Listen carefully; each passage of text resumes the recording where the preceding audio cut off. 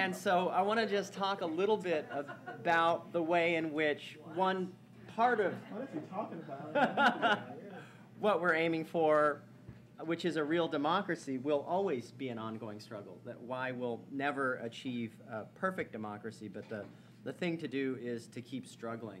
And I think it's probably fair to democracy and local is an important part of the work they're doing. But I think it's probably also fair to say not the primary.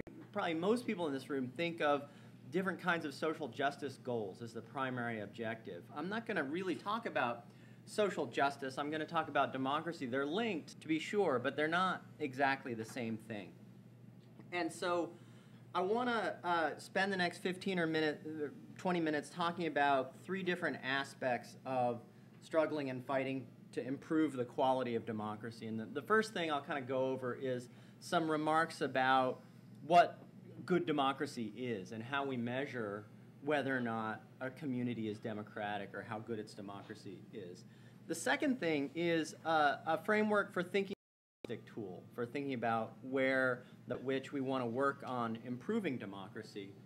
And the third thing that I want to talk about, or the third kind of tool or framework that I want to present for you, and hopefully it'll be useful, is a way about think, thinking about alternative alternatives that might improve the about what it means for a situation or the way some set of people or community makes decisions, whether or not that's democratic or how democratic it is. And I want to say that there are at least five kind of questions you should ask yourself when you're asking whether your group or your community or your country or even international decisions are democratic or not. And the first uh, one is the most important, and it's the principle of inclusion. And one of the most basic democratic impulses, I think, what we mean when we say that a decision is democratic or not, is we ask ourselves are the people who are affected by a decision accorded some influence, some voice in making that decision? And if those people are included, then it's more democratic than if they're not included. And so when you come to a question of environmental justice, one of the problems is the people in that affected community do not exercise influence over the way some of those decisions are made, where a hazardous waste facility gets sited, et cetera. What's that $100 billion go? Or, or, or where the $100 billion goes, or the, the trillion dollars, I guess, 800 billion. Yeah. the second principle is, e- is equal and effective consideration. It's not enough just for a set of people to be included. They have to be, their interests, their values, what they want, their needs have to be considered as equal. And I'm going to go a little quick, bit quickly here.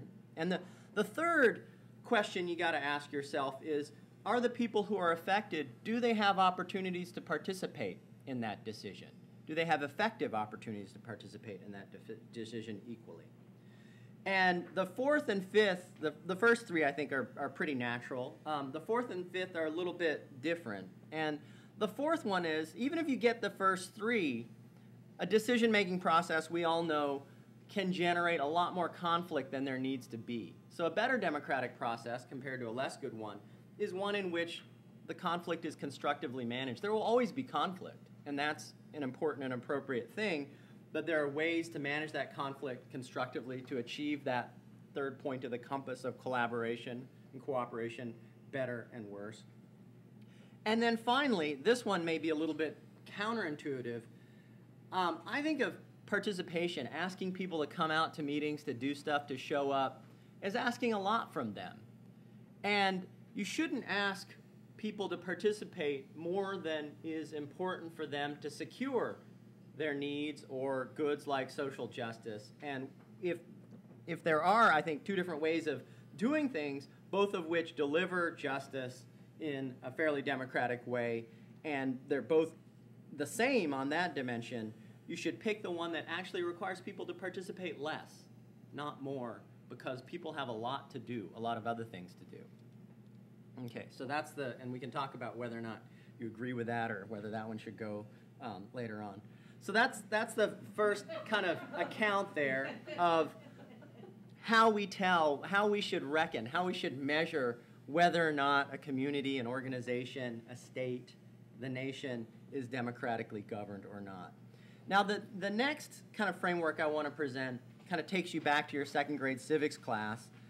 Um, about what the structure, the kind of structure of democratic governance that we all live in is, and then offers a little bit of diagnosis about when it breaks down, when our democracy is less good, less democratic than it should be. So if you remember back to your second grade civics class, this is how our democracy is supposed to work at all levels, at the national level, at the state level, at the level of towns and cities, right? And the idea, very simply, is people have interests. They want good schools, they want um, a clean, sustainable environment, etc.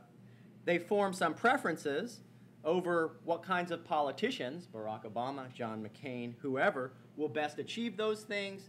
They get to vote, they go to the ballot box, they vote for who they think will best achieve those things, they get elected.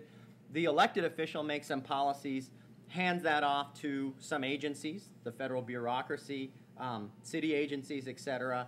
And then hopefully those agencies will do some stuff that help people out, that satisfy their interests. Now, everybody in this room knows that this picture here, this second grade civics ideal, breaks down all the time at lots of different points. Otherwise, you wouldn't be here doing the work that you're doing, right? And so, what I'm trying to offer uh, here in this little piece is a way of thinking about exactly how it breaks down. Because by understanding how it breaks down or when it breaks down, uh, you make choices about what sorts of constructive alternatives to create. And I want to say there are at least three important ways in which it breaks down. The first way is that, and we sometimes we don't like to admit this, but I think it's true, that a lot of the times, a lot of people in communities or in the nation as a whole don't really know clearly what they want. They have trouble making trade offs. They don't want to make trade offs because those trade offs are painful trade offs. So, you know, forget about conflict and power. I'm talking about even within individuals, they don't know what they want. So, everybody wants lower taxes and better services. A lot of people want a uh, very high rate of growth and environmental protection and a, a sustainable environment at the same time without trading it off. A lot of people want affordable housing in, in high value neighborhoods. They kind of espouse that value, but they don't want their property values even to be sacrificed a little bit. And so, even within individuals, particular individuals, oftentimes we're confused because we haven't done the hard work in figuring out exactly what we really want and how to trade it off, right?